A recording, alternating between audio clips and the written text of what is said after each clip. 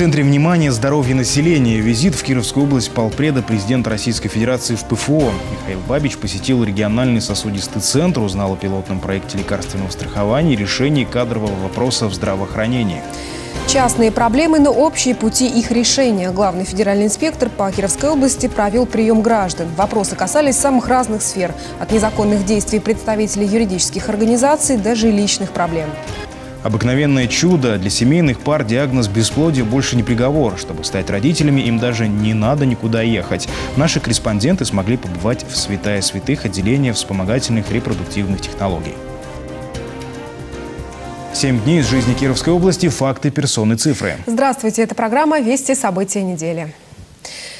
И тема недели – это, конечно, визит в Кировскую область полномочного представителя президента Российской Федерации в Приволжском федеральном округе Михаила Бабича.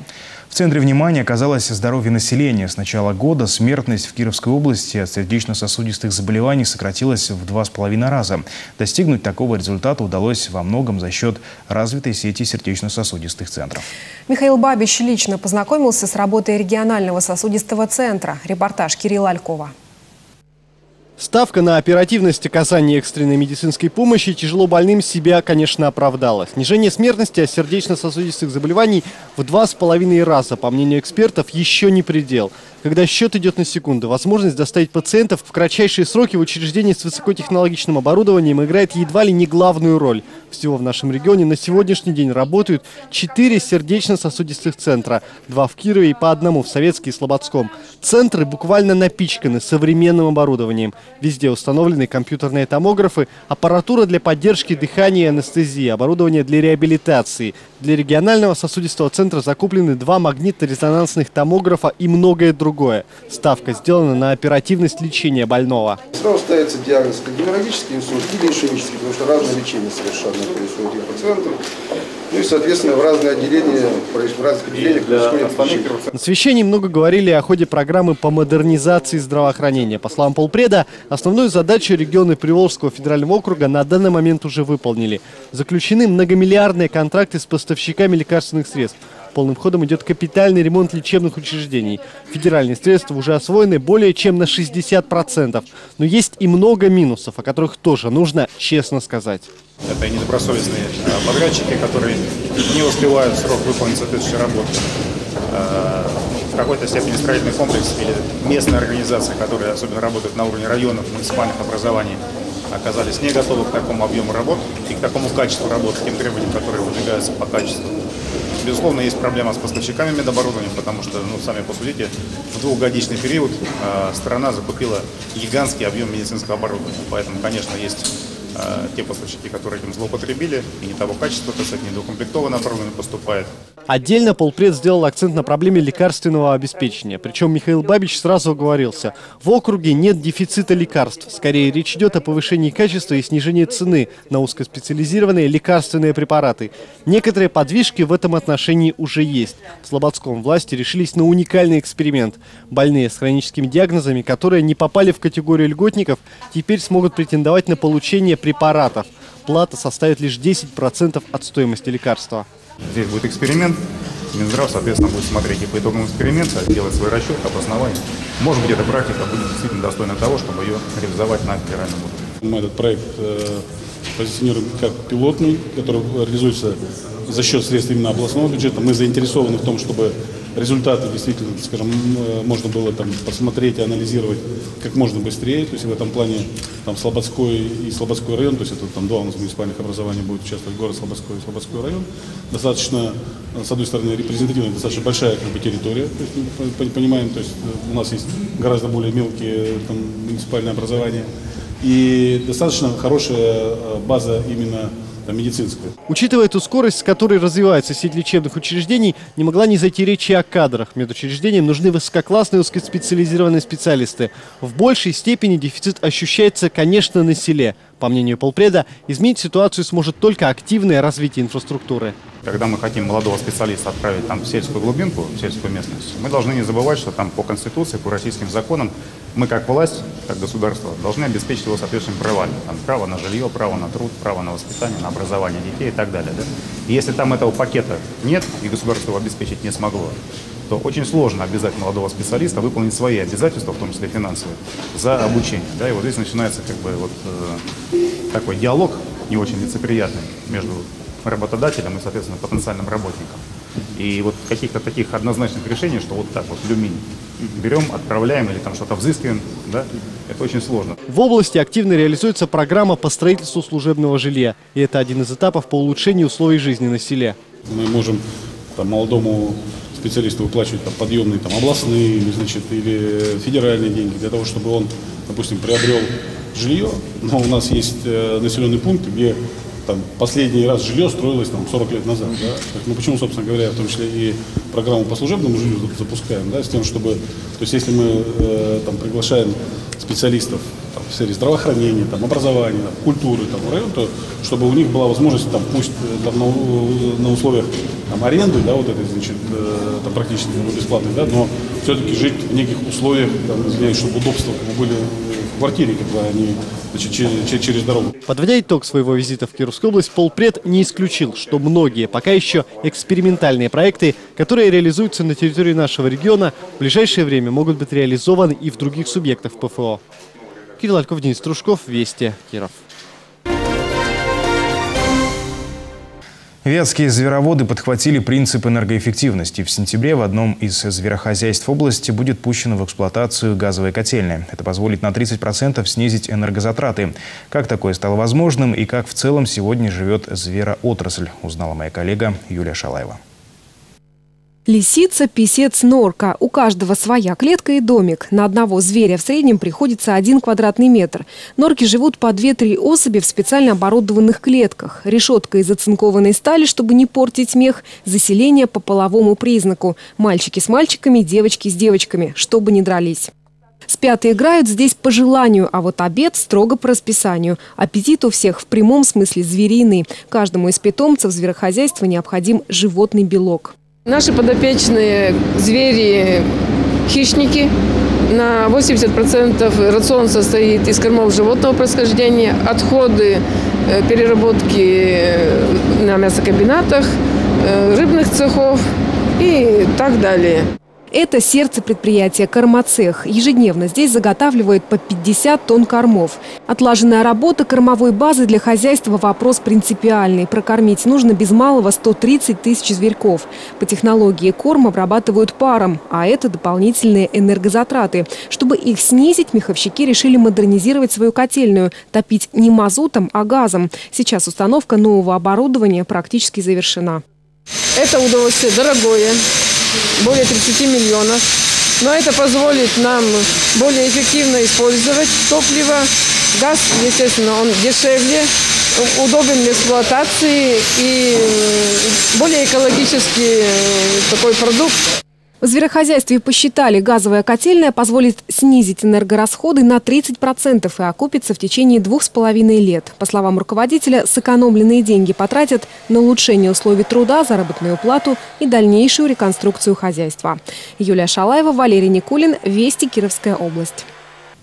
Частные проблемы, но общие пути их решения. На неделе главный федеральный инспектор по Кировской области Фердауис Юсупов провел прием граждан. Вопросов было много и касались они самых разных сфер. От незаконных действий представителей юридических организаций до жилищных проблем. Подробнее о встрече с населением Кирилл Альков. В таких случаях принято говорить «переполнила чашу терпения». Жители печально известной улицы Базовой каждый год обивают пороги всевозможных инстанций, коллекционируя отписки от чиновников. В 2011 году здесь был сделан долгожданный ямочный ремонт дорожного полотна. Однако выборочная реанимация не помогла напрочь убитой большегрузами дороге. В таких случаях, говорят, результат налицо. Многострадальная улица Базовая – одна из самых проблемных болевых точек на дорожной карте нашего региона. И судя по внешним признакам, действительно, ремонта здесь не было долгие годы. А робкие попытки городских властей хоть как-то подлатать дорожную артерию превращаются в одно и то же. Каждый год, сразу после таяния снега, местная дорога больше напоминает театр для военных действий. Алексей Иванов работает грузчиком на местной автобазе и каждый день, добираясь на работу, рискует, ну если не своей жизнью, то подвеской своего автомобиля уж точно. Себя местные жители давно в шутку называют водителями-экстремалами. И правда, ведь здесь впору объявлять соревнования на внедорожниках. Главное – обзавестись автомобилем с высокой степенью проходимости. Невозможно проехать так, чтобы чем-то не зацепиться. Машину жалко очень сильно. Налоги берут, а дороги не делают. Так что как бы не знаю, как по-другому решать этот вопрос. Сегодня на приеме у главного федерального инспектора жители многострадальной улицы. Слово просят предприниматели. Пока пешеходы страдают от отсутствия тротуаров, а водители разбивают свои автомобили, бизнесмены, в свою очередь, тоже терпят финансовые убытки. С точки зрения развития инфраструктуры местные предприятия теряют позиции на рынке. Промзона развивается достаточно ну, хорошими темпами, людей много, и вот все идут лужи по колено, пройти невозможно. Это вот инфраструктуры нет совсем. Окончательный вердикт городских властей. Ямочный ремонт улицы Базовой возможен только в следующем году. Что там можно планировать э, на сегодняшний день, это только на 2013 год. Потому что мы находимся в стадии формирования бюджета 2013 года, и можно говорить о каких-то новых объектах, которые появятся. В этом году мы на эту улицу не сможем прийти, потому что нет, ну, вы сами понимаете. Проблема, с которой члены семьи Мозиных обратились к главному федеральному инспектору, тоже не решается годами. 15 месяцев назад районный суд города Кирова вынес постановление о переселении жильцов из аварийного дома. Семья уже готовилась отпраздновать новоселье, однако на рынке недвижимости не оказалось квартир с установленными судом ценовыми параметрами. Да и требования к потенциальному жилью были явно занижены. К примеру, взять хотя бы год постройки. Жителям могут предложить только квадратные метры явно не первой свежести. Мы до сих пор страдаем. Это выстраданные нами квартиры, и вы нам снова даете старое жилье. Да. Вы знаете? Половину дома расселили, половину оставили. Это очень обидно, обидно за Россию. Представители администрации только разводят руками. Все сделано вроде бы по закону. Есть цена, которая декларирована Минрегионом, и мы ее не можем изменить. А где гибкость? Все вот мы с вами в этой гибкости находимся с цены 27 до цены 35. Вот гибкость. У прокуратуры на этот счет свое мнение. Представители надзорных органов более чем сдержанно относятся к такой позиции городских чиновников. С момента решения суда было проведено 8 аукционов, и ни один из застройщиков не согласился предоставить жилье по изначально заниженным рыночным ценам. Правила игры, конечно же, диктует рынок, но ведь и у города должна быть заинтересованность в исполнении решения суда. Мы э, со своей стороны как бы понимаем, что недостаточно активные э, со стороны службы судебных приставов работа в какой-то мере осуществлялась, несли им представление. На сегодняшний момент официально глава администрации города Киева предупрежден об уголовной ответственности по статье 315. Если как бы вопрос ставить таким образом, ну мы будем ставить таким образом. То есть решать вопросы, возбудим уголовное дело, деньги сразу же найдутся. Сегодня разговор э, не гражданин должен идти к власти, а власть должна идти к гражданину. Это позиция, как хотите, так и воспринимайте. Я публично при средствах массовой информации об этом говорю. И э, уже здесь их службе студент представляет Николай Николаевич. Значит, вот э, как бы в виде поручения ставить вопрос активизации доследственных проверок по существу исполнение судебных решений по предоставлению жилья. На следующей неделе в Кирове состоится расширенное совещание по жилищным вопросам. Проблема переселения горожан из ветхого аварийного жилья будет рассмотрена одной из первых. Причем, как пообещали в аппарате главного федерального инспектора, эксперты дадут разъяснения по случаю каждой конкретной семьи. Кирилл Альков, Денис Трушков, Вести, Киров. Президент Владимир Путин на неделе подписал указ о праздновании в 2024 году 650-летия основания города Кирова. Как сообщил в своем живом журнале Никита Белых, впервые о том, что городу надо уже готовиться к юбилею, прозвучало весной 2011 года в послании губернатора о развитии региона. Цитата «Я исходил из того, что чем раньше начнем готовиться, тем качественнее сможем подготовить план мероприятий, тем на больший объем поддержки со стороны Федерации сможем рассчитывать». Об этом шла речь и на рабочей встрече в апреле этого года с Владимиром Путиным. И вот соответствующий указ президента подписан. Как пишет губернатор, празднование 650-летия – это далеко не только праздничные мероприятия. По сути, это комплексная программа развития города, включающая гораздо более смелые и амбициозные проекты, чем те, которые регион мог бы себе позволить, работая в текущем режиме. О 650-летии города Кирова шла речь и во время визита в наш регион полномочного представителя президента Российской Федерации в Приволжском федеральном округе Михаила Бабича. Указ, он просто определил дату проведения, по сути дела. Сам факт и дату проведения а, этого празднования. А затем будет э, издано, соответственно, постановление правительства, которое э, пропишет и процедуру, и состав комитета, и объем мероприятий, в том числе финансовых мероприятий, которые будут реализованы в рамках э, подготовки к этой дате. Другой вопрос, что она у вас очень отсрочная, там 12 лет, вот, поэтому время еще есть. Ну, будет, соответственно, постановление правительства, все это будет прописано. О подготовке к юбилею областного центра и грандиозных планах городских властей говорили и на встрече главы города Кирова Владимира Быкова с журналистами, победителями конкурса журналистских работ «Мой город». У нас есть 12 лет для того, чтобы к этому подготовиться. Но это большая работа. И вот здесь я хотел бы, чтобы мы вместе с вами и освещали ее. Потому что действительно нужно сделать очень много. В эфире итоговая программа «Вести Кировской области. События недели». Смотрите во второй части выпуска. Обыкновенное чудо. Для семейных пар диагноз бесплодия больше не приговор. Чтобы стать родителями, им даже не надо никуда ехать. Наши корреспонденты смогли побывать в святая святых отделения вспомогательных репродуктивных технологий. Особый случай кировчане познакомились с паблик-артом. К искусству в городской среде всех желающих приобщил американский художник Кэндалл Хенри. Итог совместной работы – проект под названием «Внутри традиций».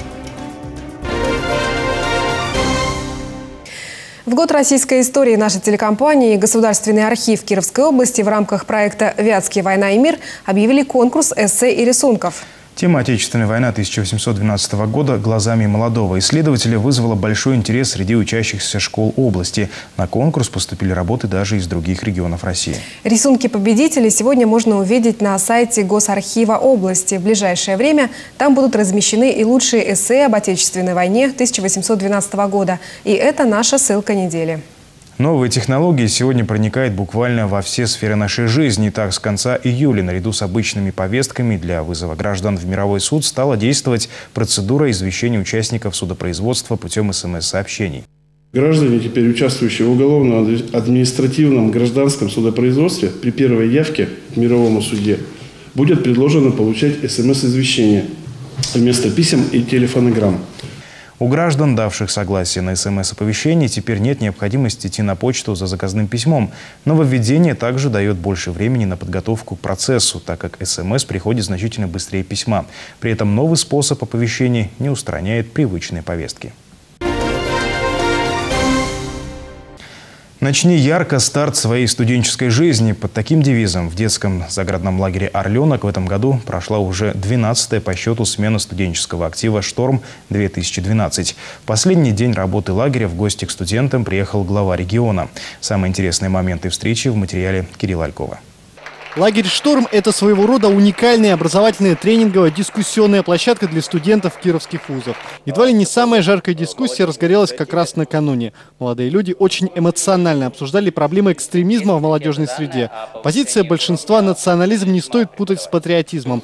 Разногласия на национальной почве только разлагают молодежную среду. Отсюда недопонимание, что еще хуже, открытые столкновения. Экстремизм – это э, целенаправленное действие каких-то общественных группировок или целых э, сообществ, э, имеющих политическую подоплеку, э, ну и направленных на разложение общества изнутри. Много говорили о перспективах развития муниципальных образований, о том, что в результате децентрализации именно сельские поселения и округа, близкие к народу, должны отвечать за решение проблем в отдельно взятом районе. Какие, может, меры, программы планируются по развитию инфраструктуры сельских поселений? Мы как раз, когда принимаем решение о том, что э, выделять средства на то или иное направление по э, там, сельским территориям, да не только по сельским, этот подход общий. Главное, что мы смотрим, это, а, собственно говоря, каковы перспективы этой территории именно с точки зрения там, молодежи. Гости посоветовали и самим молодым людям более активно участвовать в возрождении их малой родины. Тем более, что 14 октября во всех муниципальных округах региона пройдут выборы. В этой аудитории не мог не зайти разговор и о кадрах. Многие студентов – будущие работники бюджетной сферы, учителя и врачи. И молодые люди хотят знать, готово ли государство оказывать им поддержку при трудоустройстве. Правительство региона готово идти навстречу молодым специалистам, в том числе и выплачивая подъемные за трудоустройство на селе. Для вот, молодых людей людей, для них и деньги вот там не, э, не самое как бы главное, что кто там не готовы значительная часть ехать там в сельский населенный пункт просто потому что там нет необходимого социума, нет того как бы уклада значит, жизни, к которому они привыкли, там, да, и так далее, и так далее. Вот тут уже надо тогда выбирать, да, то есть если мы говорим там про деньги, пожалуйста, да, то есть миллион рублей, едьте, скажем, вот в такую-то территорию. Нет, не хотим. Зашла речь и о формировании имиджа нашего региона. Помимо общих тезисов о необходимости развивать региональные бренды, много говорили об имидже самого Никиты Белых. Многих студентов интересовало, всегда ли главе региона удается отстаивать свою позицию и насколько можно быть вообще принципиальным в большой политике. Ответ для некоторых прозвучал неожиданный. Ситуация, когда президент, допустим, в прошлом премьер, значит, э, задает вопросы, почему там губернатор находится в отпуске, да, то есть, э, о котором я, я всех уведомил в соответствии значит, э, с законом э, и более того, значит, три, три года в отпуск не ходил, то есть у меня, естественно, как бы, там, естественная реакция. Если бы я на тот момент сказал, что там, да, виноват, да, виноват, все нормально, значит, там, как бы, там проехали, хотя, еще раз говорю, тема, которая там поднималась, там, к тому времени уже была там исчерпана, закрыта там, и так далее. Ничего бы не было, да? Ну вот, собственно говоря, там, сейчас, пять минут позора, и ты на работе. Ну, значит, э, то есть я ответил то, что как бы, я считал как бы, нужным, я не жалею о том, что я это сказал. Говорили также о заказных материалах в прессе, о черном пиаре и о пробелах в российском законодательстве. Студенты сошлись во мнении, что некоторые законопроекты уже устарели и требуют пересмотра. Главное, чтобы к мнению молодых людей теперь прислушались их старшие коллеги. Кирилл Альков, Владимир Подлевских, Вести, Киров. Еще совсем недавно в Кировской области супружеские пары с диагнозом бесплодия не могли и мечтать о том, чтобы стать родителями. Помощь им могли оказать лишь в клиниках за пределами региона. Сегодня, чтобы мечта таких семей исполнилась, уже не надо никуда ехать. Второй год в перинатальном центре Кирова работает отделение вспомогательных репродуктивных технологий. И сегодня уже можно подвести первые итоги его работы. Длинное и не сразу понятное обывателю слово «экстракорпоральное» в переводе с латинского означает всего лишь «вне тела». Основной смысл экстракорпорального оплодотворения в том и заключается, что слияние женской и мужской половых клеток происходит в лаборатории, а не в организме женщины. Под многотысячным увеличением микроинструментами врач-эмбриолог сначала выбирает лучший по форме и движению сперматозоид, затем зрелую яйцеклетку. Поймать сперматозоид и проколоть оболочку яйцеклетки и ввести туда сперматозоид. Эффективность лечения методом ЭКО в перинатальном центре Кирова за год увеличилась на 4% и сегодня составляет 35%, что больше среднемирового показателя и огромный успех молодого отделения. Каждый из его дружного коллектива, где 5 докторов, средний и младший медицинский персонал, вносит свою лепту в общее дело, не забывая о том, что даже методом ЭКО беременность дается свыше. После того, как эмбриологам завершена процедура слияния половых клеток, начинается ожидание первого результата – оплодотворения. И суббота и воскресенье мы приезжаем сюда. Каждые сутки мы смотрим, отмечаем, как развиваются эмбрионы. Без этого нельзя. В зависимости от качества эмбрионов и их количества врач выбирает оптимальное время для переноса одного или двух лучших в организм женщины. Бывает, что кто-то ну, цепляется, кто-то обратным током возвращается. То есть эмбриолог проверяет под микроскопом, все ли пусто и находятся ли на самом деле эмбрионы в матке. То есть мы контролируем по УЗИ, то есть мы видим пузырьки воздуха на УЗИ, что содержимое в матке. Оставшиеся после процедуры переноса качественные эмбрионы обязательно будут сохранены на случай, если первая попытка ЭКО окажется неудачной или на случай, если через какое-то время родители захотят второго малыша. Спустя менее двух лет работы в отделении вспомогательных репродуктивных технологий уже отработаны основные схемы лечения. Лучшие методики 30-летнего мирового опыта проведения ЭКО постепенно становятся доступны и в Кирове. Мы получили беременность после переноса криоэмбрионов после разморозки. Мы получили беременность после а, ЭКО с использованием сперматозоидов, полученных в результате биопсии яичка. То есть для нас это как бы ну, успех. Разумеется, работу начинали не с нуля. Подготовка продолжалась на протяжении нескольких лет. Был создан единый областной регистр бесплодных пар. Затем в перинатальном центре начали выполнять подготовку женщин к ЭКО. Саму процедуру они проходили в Чебоксарах. С открытием отделения ВРТ в Кирове у супружеских пар с диагнозом бесплодия появилась возможность пройти лечение, не выезжая за пределы региона, и к тому же бесплатно. В прошлом году за счет региональных и федеральных квот было выполнено 215 процедур ЭКО. В 2012 году запланировано провести лечение 350 супружеским парам, которые страдают бесплодием методом вспомогательных репродуктивных технологий за счет средств областного и федерального бюджета. На сегодняшний день на разных этапах лечения находится или прошли лечение 238 супружеских пар.